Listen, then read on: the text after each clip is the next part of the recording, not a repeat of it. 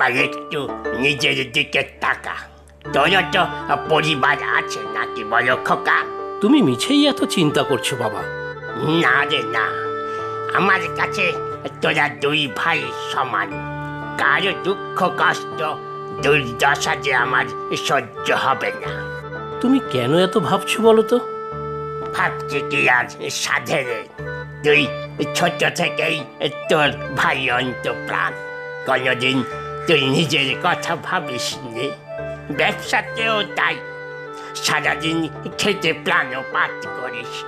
কিন্তু ছোট খোকা যে বাবা অমল চাকরি করে। সারা দিন খেটে খুঁটে বাড়ি ফিরে কি তার আর ব্যবসায় মন দেওয়া সম্ভব? আর আমি তো বাড়িতেই থাকি তাই আমি সবটা দেখাশুনো করি। আমি আজ কদিন আমি চোখ বোঝার আগে নিজের ভাগেরটা বুঝে নে। না হলে যে ভবিষ্যতে তোর বড় অসুবিধা হবে রে বড় খোকা। ছোট খোকা, ছোট থেকেই বুদ্ধিমান, নিজেরটা গুছিয়ে নিতে জানে। কিন্তু তুই তো বড্ড আগোছালো।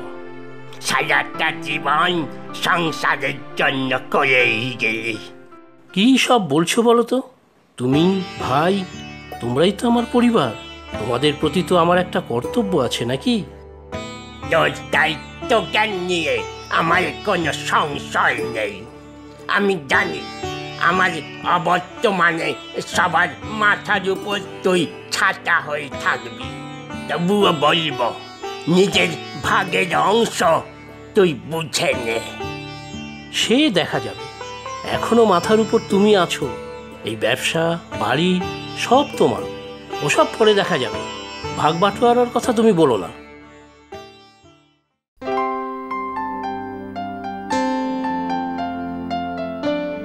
এই তো খেটে খুঁটে এলে এসেই আবার এসব নিয়ে বসেছো? একটা বড় অর্ডারের হিসাব মেলাচ্ছি। দাঁড়াও একটু কথা বলো না। সারাদিন শুধু কাজ আর কাজ উফ। আরে দাদা সারাদিন এই ব্যবসার পেছনে কত খাটাখাটনি করে বলো তো। এই ব্যবসা বাবার পরে তো দাদাই হাল ধরে রেখেছে। এত বড় কারবার তো আর এমনি এমনি হয়নি। ব্যবসা তো বাবার পর তোমাদের দুই ভাইয়েরই। তুমি বাড়ি থাকো না তাই ব্যবসার কাজে সময় দিতে পারো না। তাই তো অফিস থেকে ফিরে যতটা সম্ভব সাহায্য করার চেষ্টা করি। দাদা একা হাতে আর কত করবে? একা হাতে আবার কি? কত কর্মচারী তোমাদের ব্যবসায়? সবাই তো কাজ করে। সব কিছু কি কর্মচারীদের হাতে ছেড়ে দেওয়া যায়? আর দাদাই বা একা কতটা করবে? দাদার ওপর সব দায়িত্ব তো আর ছেড়ে দেওয়া যায় না। সেটাই তো বলছি। এবার নিজের ভাগটা বুঝে নাও। আর কতদিন কাঁথার খাটনি খাটবে বলো তো? কি যে বলো তুমি। বাবা এখনও আমাদের মাথার উপরে আছেন ব্যবসা আবার ভাগ করব কি? আরে আমি তো আর বাড়ি ছেড়ে চলে যেতে বলিনি। একই বাড়িতে থাকব। তবে সবার অংশ আলাদা। নিজেরটা বুঝে নেবে তো। তুমি যে কি বলছো তার মানে জানো? কে যে তোমার মাথায় এসব ঢোকাচ্ছে কে জানে। পরিবার ব্যবসা এসব ভাগ করার মানে কি? ভিন্ন করে দিতে চাও নাকি আমাদের দুই ভাইকে? পাগলেও নিজের ভালো বোঝে। এখন আমার কথা না শুনলে পরে বুঝবে। ঠকবে দেখো ঠকবে তুমি।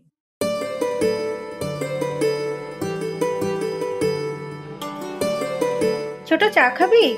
তাহলে দুজনের জন্য চা বসাবো একটু। হ্যাঁ বসাও। কি কি রান্না করতে হবে বলো? তোর কিচ্ছু করতে হবে না। সব তো হয়েই গেছে। বাকি মিনুর মা করে নেবে। তুমি তো আমাকে আগে ডাকতে পারতে। এরপর সবাই বলবে তুমিই সব করো। আর আমি গায়ে হাওয়া লাগিয়ে ঘুরে বেড়াই। ছাড় তো লোকের কথা। আর আমি থাকতে তুই কেন কিছু করবি? সারা জীবনটা তো কাজের জন্য পড়েই রইল। না তুমি যাই বলো আমার খারাপ লাগে। কি করব বলো? আচ্ছা তোর দাদা অমল সবাই খেতে বসবে এখন। তুই গিয়ে টেবিলটা সাজিয়ে ফেল দেখি। দাদা কাল রাতে যে হিসেবটা দেখতে বলেছিলে হয়ে গেছে। বাঁচালি ভাই ওসব হিসেব টিসেব আমি ভালো বুঝি না। ওসব তুই দেখ। সে না হয় হবে। চাকরি করে যতটুকু সময় পাই তোমাকে সাহায্য করার চেষ্টা করি। ঠিক আছে ঠিক আছে তাই যথেষ্ট। ছোট থেকেই কত ভালো পড়াশুনোয় তুই। কত ভালো রেজাল্ট তোর। বাবার কত আশা তোকে নিয়ে। তুই কত বড় দায়িত্বপূর্ণ পদে চাকরি করিস।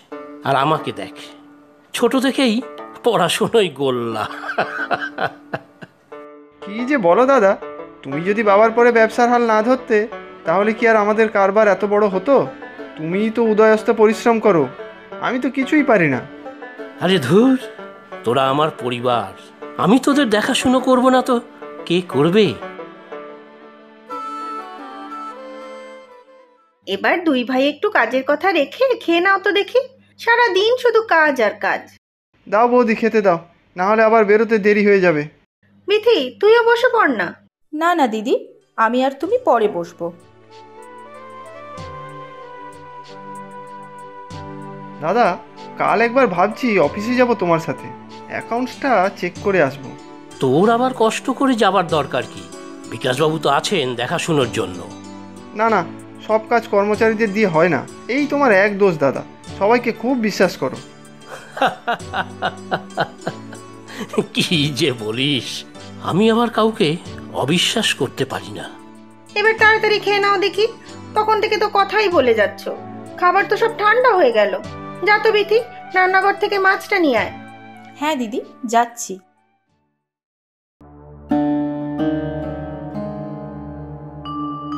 কি গো কি এত ভাবছ বলো তো? আজ অফিসের অ্যাকাউন্টস মেলাতে গিয়ে দেখি বিস্তর টাকার গরমিল। কি বলছো এসব? কে করেছে? কে করেছে তা জানব কি করে? দাদাও তো জানে বলে মনে হলো না। একবার বাবার সাথে কথা বলতে হবে। আমার কথা তো শুনবে না? কবে থেকে বলছি? নিজের ভাগ বুঝে নাও। সব যখন নয় ছয় হবে তখন বুঝবে। বোকার মতো কথা বলো না তো। বাবার সাথে এই বিষয়ে কথা বলতে হবে। বাবা এই কটা কাগজে তোমার একটু সই লাগতো। দে দেখি। আরে সই করার আগে একবার পড়ে নেবে তো। তুই তো দেখেছিস। ব্যাস তাহলেই হলো। আজ অমল গেছিল অফিসে হিসাবপত্র দেখতে। ছোট বৌমাই পাঠিয়েছে নিশ্চয়। আমি তোকে বারবার বলছি বড় খোকা নিজেরটা বুঝে নে। আমি চোখ বুঝলে দেখবি সবাই নিজের আখের গুছিয়ে কেটে পড়েছে। কি যে বলো বাবা অমল আমার ছোট ভাই। তুই সবাইকেই বিশ্বাস করিস। ভাই অন্ত প্রাণ তুই। বড় বৌমাও সংসার একার হাতে সামলায়। আর বাকিরা থাক না বাবা এসব কথা। আচ্ছা এখন উঠি।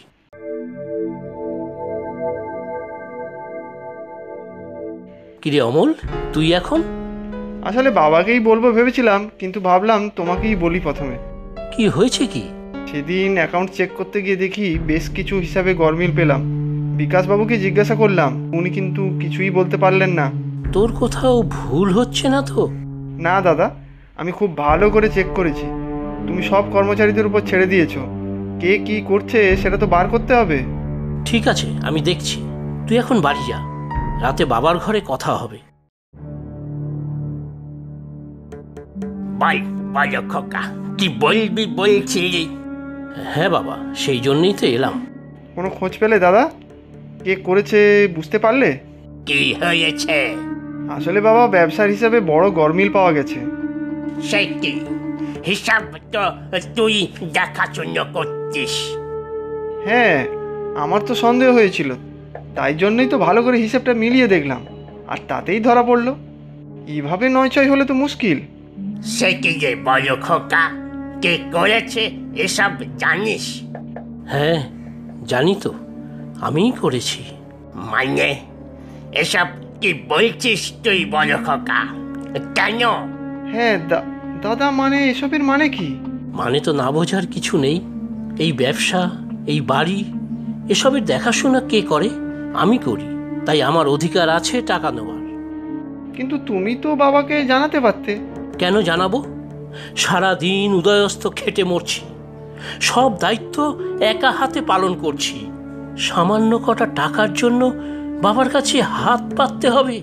ছি ছি বড় খোকা ছি। কিন্তু এসব করার কারণ কি দাদা? তোমার ব্যবসার মালিকানা চাই? এই বাড়ি চাই? যদি চেয়েও থাকি সেটা কি অন্যায়? নিয়ে নাও দাদা সব নিয়ে নাও। কিচ্ছু চাই না আমার। বাবার পরে তোমাকেই মাথার উপর ছাতা হিসেবে জেনেছি। কোনোদিন তোমার থেকে আলাদা হবার কথা ভাবিনি। মিথি তাহলে ঠিকই বলতো। ঠিকই বলেছিস। এবার সব কিছুর মালিকানা বদলাবে। সেদিন বাবা যে সই করলে তার মধ্যেই সব দলিল ছিল। সব এখন মালিকানা বদল। এ কি বলছিস বড় খোকা? এই দেখ অমল। এ কি? এ যে সব আমার নামে? বাড়ি ব্যবসা সব বললাম যে মালিকানা বদল হয়েছে? আমার যে মাথায় কিছুই ঢুকছে না। আমার নামে সব কেন? কি করতে চাইছিস? বল আমাকে সব। বাবা অমল সব দিক থেকে যোগ্য তাই পুরো ব্যবসাটা ওই দেখাশুনো করুক।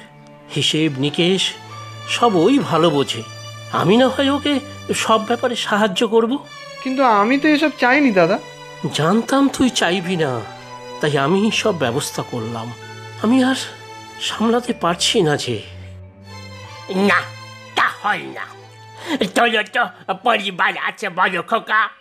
আমি চাই তুই আর ছোট খোকা দুজনে মিলে সমানভাবে সব ভাগ করে নে।